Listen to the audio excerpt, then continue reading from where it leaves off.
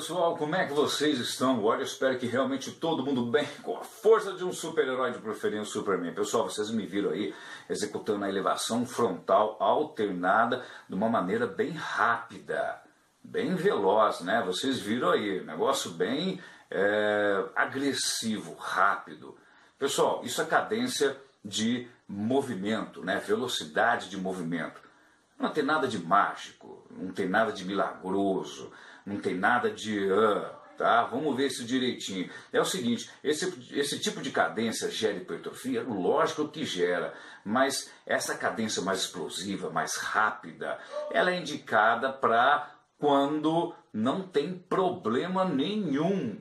Você não tem problema nenhum para resolver, não tem problema nenhum de postura, não tem problema nenhum de flexibilidade, de técnica de execução, nenhum agente doloroso envolvido, não tem problema nenhum, tá? Esse tipo de cadência, lógico que funciona, não tem nada de mágico. Ah, é melhor é, é, execução, né? melhor cadência, 3x2, 4x2, 5x3, a velocidade da luz, 1 por 1 tem nada de mágico nisso. A mágica é você saber concentrar, focar o estímulo muscular. Isso é um talento. É aí que está a mágica. Né? Não se tem notícia que uma cadência rápida causa lesão. O que causa lesão é perda de técnica, falta de postura. Isso é que causa lesão. Tá? Então é o seguinte, é, aliás, né, num treinamento avançado, é muito recomendado essa variação de vários tipos de velocidades. Né?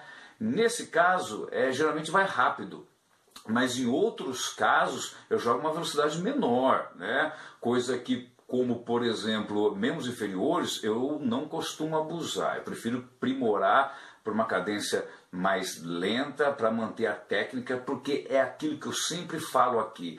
Membros inferiores, não arrisquem. Membros inferiores envolve quadril, quadril é base de color, então não arrisquem. Segue agora no final, né? Vou colocar agora é, um exercício de membros inferiores que é o hack, agachamento hack, o agachamento linear, em que eu estou com outro tipo de cadência. Então eu vario bastante, né? No treinamento avançado, isso é muito recomendado. Segue o vídeo e é, é, observem a minha cadência, tá? Nesse tipo de aparelho.